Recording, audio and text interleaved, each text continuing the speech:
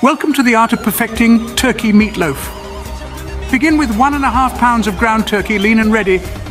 Combine it with one cup of fresh breadcrumbs for that soft texture. Next, half a cup of finely chopped onions, one fourth of a cup of milk, and one large egg. Give it a rich, moist base. Don't forget your seasonings. Half a teaspoon of salt, a quarter teaspoon of black pepper, and a dash of garlic powder for that extra kick. Mix it all together, shape into a loaf, and place it in a greased loaf pan. Now for the secret sauce, combine a quarter cup of ketchup, two tablespoons of brown sugar, and one tablespoon of mustard. Spread it over the loaf. Bake at 350 degrees for 55 minutes. Voila! Your turkey meatloaf, a savory delight awaits. Perfecting turkey meatloaf is an art, and now you're the artist.